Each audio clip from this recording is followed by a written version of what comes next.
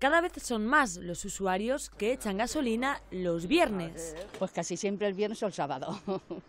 Los viernes. Pues los viernes. Y Repsol ha querido escuchar las peticiones bajando los precios este día, algo que ya hacía los lunes según su propia versión para favorecer a los transportistas que eligen ese día para repostar. Pues que la tenían que bajar todos los días y los viernes mejor que los lunes.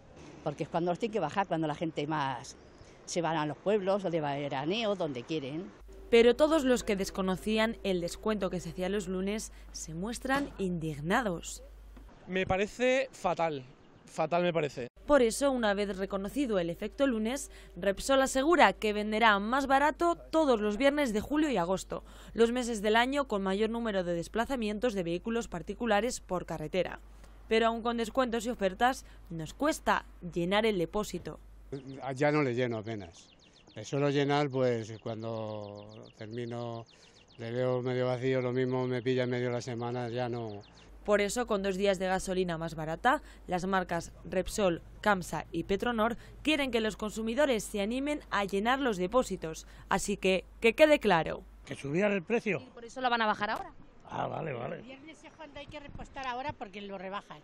Vamos, venga.